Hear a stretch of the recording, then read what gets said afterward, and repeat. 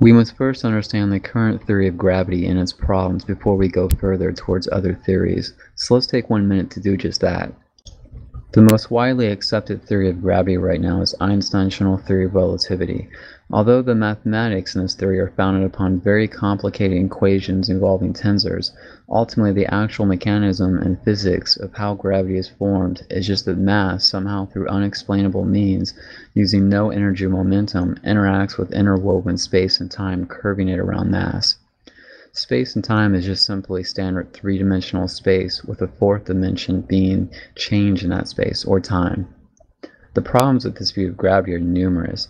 As per calculations, the majority of mass in the galaxy must be undetectable dark matter, or else the galaxies would not be able to hold together as they do at the measured speeds of rotation around their galactic core. Also, there must be another undetectable force named dark energy, which is facilitating the measured expansion of the galaxies moving away from each other equally in all directions, something is impossible in all current theories of gravity. Also, closer to home, the perihelion precession, which is basically just a slight shifting of planetary orbits over time, cannot be completely explained with Einstein's equations of general relativity.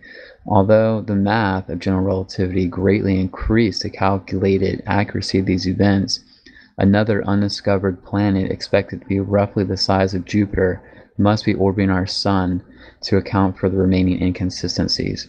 Yet Einstein's general theory of relativity is proven correct in many other ways time and time again. Or has it? We'll get back to that in one minute. Right now, let's go over this new theory of dynamic gravity and see if it can explain gravity better. First, though, we have to understand that magnetic fields are facilitated by virtual photons, and magnetic fields can interact with each other. Forcing two similar poles of a magnet together will cause the fields to repel each other, creating force. And when two equally sized magnets are combined so that the opposite poles combine, the end result is not a magnetic field twice the strength, only larger by the size of the magnet but rather a field that while stronger has also been displaced out slightly further and larger than it was previously. So what do magnets have to do with gravity? Maybe a lot more than you think.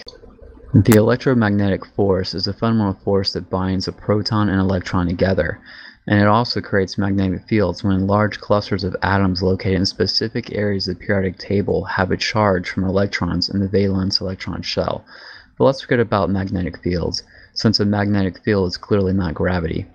But a new force that would act as gravity does, and we will hereafter call gravity, is created when atoms of molecules are forced tightly together, encroaching their separate electromagnetic force fields, which are facilitated by virtual photons.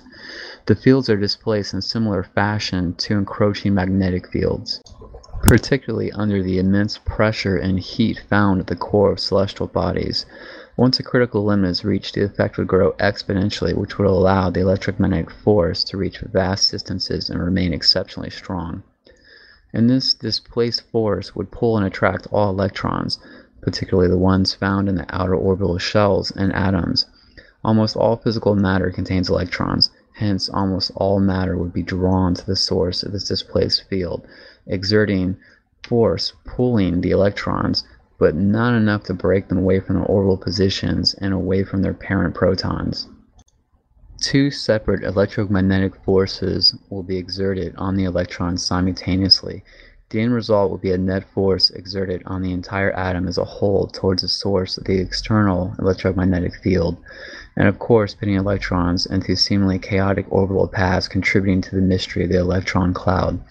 However, there is at least one known particle of matter that does not contain an electron, the unpaired proton. The sole particle that is so unstable that its weight must still be deduced from the measured weight of hydrogen. According to the dynamic theory of gravity, this particle would not fall in the gravitational field and would hence be quite unstable in the gravitational field, eventually making its way free of the planet into space as hydrogen and helium eventually do. But there is more to this theory than a simple attractive force.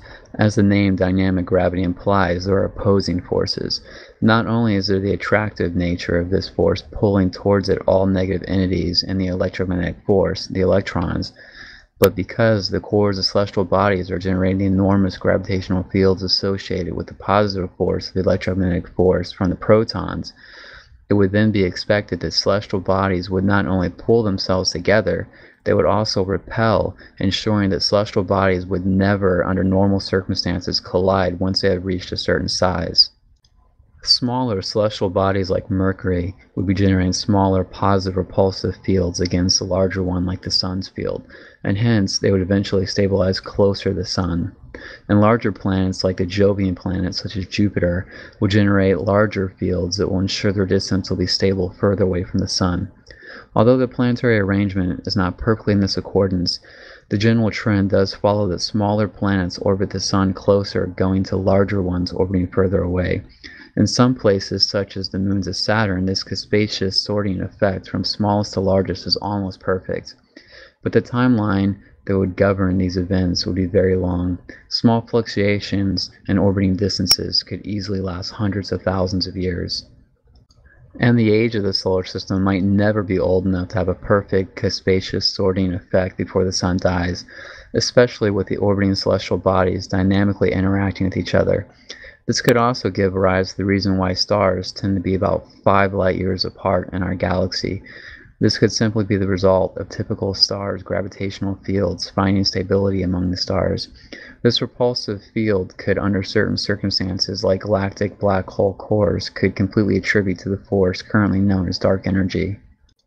According to basics in field theory relating to this dynamic gravity theory, gravity would not be an infinite reaching force our planet would feel no gravitational force from another planet in another galaxy. However, if the celestial body were under enough pressure and heat, such as a galactic core and a black hole, it would be expected that nearby galaxies could interact with each other in a limited fashion. Another thing to consider in this theory states that gravity is an omnidirectional field similar to a magnetic field, and any mass in a gravitational field of a celestial body would feel drag forces from the field as it travels through it. This effect would grow as the velocity of the mass grows. As objects approach the speed of light, reaching the speeds of the virtual photons generating the gravitational fields, objects would require more energy just as Einstein's famous equation predicts. I do dispute one component in this formula, however. The definition of mass that Einstein uses is the standard mass equals volume times the density stating that all mass would be equally affected by the cosmic speed limit of light speed. There are three definitions of mass, however, and I contend the appropriate one is mass equals weight divided by gravitational acceleration. Since it is gravitational drag forces that slow high velocity objects according to dynamic gravity, if you were to be free of all gravitational acceleration, then there is now nothing stopping you from exceeding the speed of light. This is shown in the equation itself as when the gravitational acceleration is zero, you would have a zero denominator, which is an illegal function. Hence the equation is no longer valid. However, this would do little good for any application currently as we are stuck in the Earth's and Sun's gravitational fields with no way to shield gravity. However, should the day ever come when our science is capable of interstellar travel, this exploit could allow faster than light speed travel under certain criteria. Now that we have a basic understanding of this dynamic gravity theory, let's return to scientific validation of Einstein's theory of general relativity and dig into what's really going on here. One of the more popular tests of general relativity is the expected measure of time dilation with the equations that Einstein created. It is important to understand the significance of mathematics. Generic formulas like that of exponential growth can be used to calculate a plethora of processes from technology manufacturing to nuclear fission. More complicated mathematical formulas will apply to more specific processes, but never entirely exclusive to any one process. Gravity Probe B uses a gyroscope to measure the geodetic effect and frame dragging caused from allegedly the Earth warping space-time. However, the formulas used are incapable of determining if the effect is caused by a medium such as space-time or a medium such as a field, and other experiments, such as the ones testing time dilation, must be completely recognized as what they are. Equations used in predicting time dilation have no time dilation formula components or a time dilation proportionality constant. They are simply showing an effect that has a strength determined by distance from a source of gravity, or how fast an object travels through a gravitational field. The timekeeping devices used are atomic clocks that work off electron transition. Electrons emit electromagnetic radiation as they decay to lower energy state orbital paths within the electromagnetic field of the proton. But is electron transition immune to the effects of large external electromagnetic force field? How would the electron's ability to release energy vary as it travels through the field, or as the field itself becomes stronger? Dynamic gravity is a theory that has never been seen as a reason to explain gravity, because no one has ever thought of gravity in this way before. And even though the theory of dynamic gravity can explain just about all the mysteries of gravity other theories fail at, dynamic gravity still is little more than a conceptual theory crafting with little evidence to support it. Time will ultimately reveal which of the many theories of gravity is closest to the truth.